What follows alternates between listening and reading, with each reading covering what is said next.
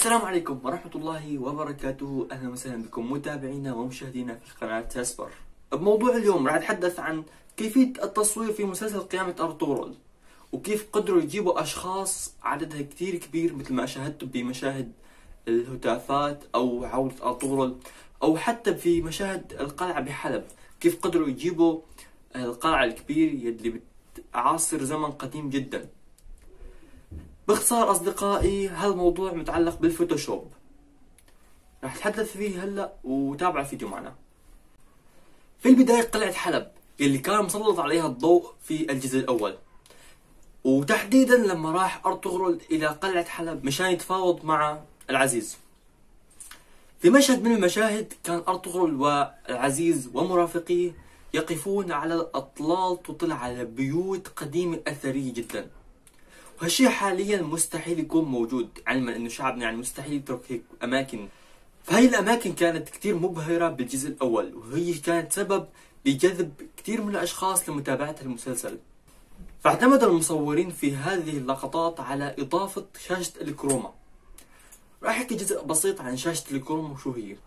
شاشة الكروما هي إنك تصور فيديو وتحط خلفية خلفك تكون لونها لون ثابت. إن كان أخضر أحمر أو أسود أو أي لون ثابت. على شرط إنه يكون اللون يلي خلفك مانك لابسه أنت أو شيء من الأدوات يلي معك يكون لونها نفس اللون يلي هو خلفك. أثناء المونتاج بتقوم بازاله اللون الأخضر أو اللون المثبت بالشاشة الخلفية وراك كله بحيث يظهر لك إنه الصورة يلي وراك ما في شيء وراها ابدا. يعني إنك عم تمشي بالهواء أو هيك شيء أو ما شابه يعني. حاليا أنا عم أستخدم كمان الشاشة الخضراء يعني ممكن ما شايفين يلي وراي. بس اللي وراي هو لون أخضر. بالمونتاج أنا بشيله.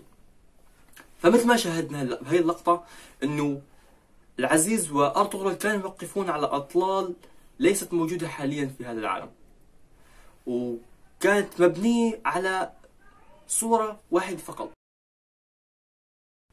ننتقل معكم هلأ لصورة كانت بمدينة حلب. أيضا هذه الصورة كمان أضافوا عليها الأطلال ثالثا عدد الخيم اللي كانت بالقبيلة لاحظنا كلياتنا إنه عدد الخيم اللي كانت بالقبيلة لا تتجاوز المية لكن كيف قدروا بهي المشاهد يجيبوا عدد خيم كتير كبير؟ أيضا اعتمدوا على فكرة الكروما. كمان جابوا صور مكررة وحطوها داخل المونتاج ليبين لنا إنه قبيلة كتير كتير كبيرة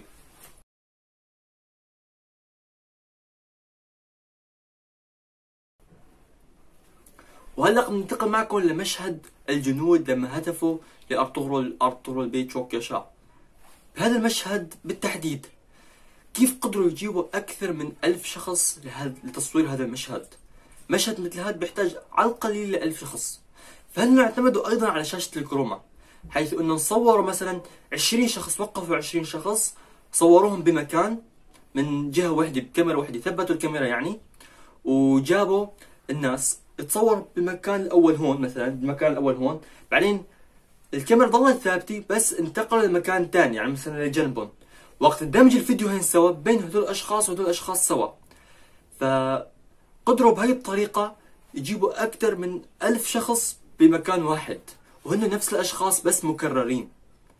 وبيقدروا إنه يغيروا اللباس اذا كان شرح اللباس أو حط لباس ثاني بيقدر يحط أشخاص ثانيين على ألبسة مختلفة.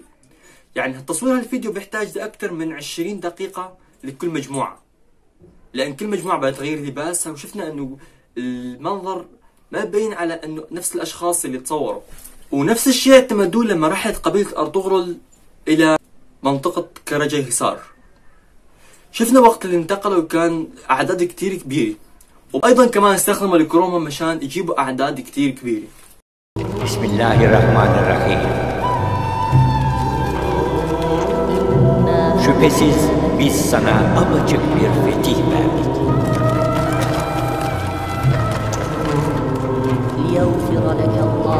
Ta ki Allah senin geçmiş ve gelecek günahlarını bağışlasın.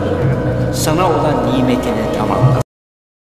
أيضا عندما قتل أرطغرل أورال في وسط قبيلته استخدموا خدعة بسيطة كتير ما حد انتبه عليها راح أعرض لكم الفيديو بالتحديد كيف قدر يقتلوا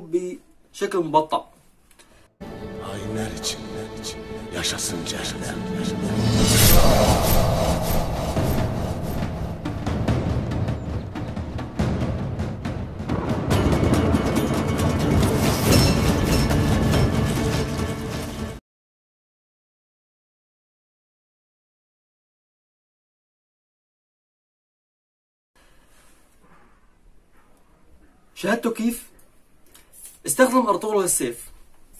فراح مثل لكم إياها أنا تحديدا يعني مشان تفهموها. أول ضربة كانت هون.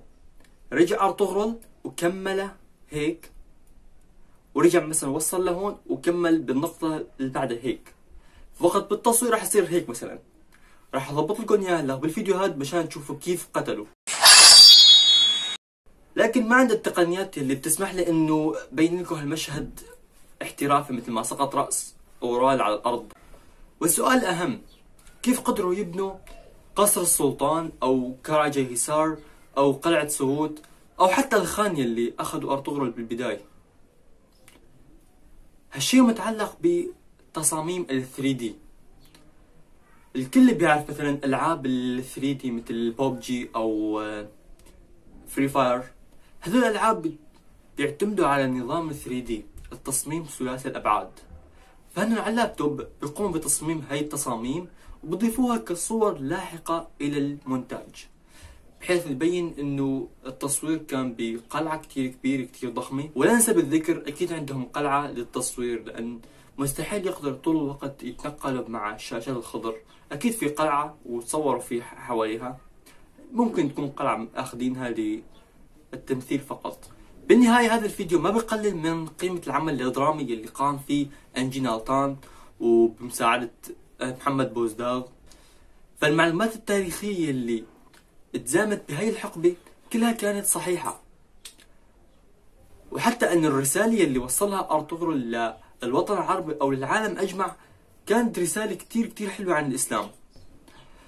بتمنى تكون هاي المعلومات فادتكم وبتمنى تكونوا استفدتوا من هالمعلومات. أه بتمنى تشاركوا الفيديو وتشتركوا بالقناة وتفعلوا زر الجرس إذا كان هالشي ممكن.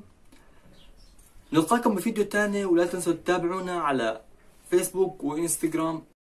علقوا لي بآرائكم وانتقاداتكم. إذا كان في شيء ناقص مشان نضيفه بالفيديو لاحق وإن شاء الله بالفيديو القادم راح أتكلم عن كيفية التصوير في باقي الأفلام الأجنبية. شكرا على حسن المتابعة وألقاكم في فيديو قريب. دمتم برعاية الله والسلام عليكم ورحمة الله وبركاته. كان معكم محمد الصبر.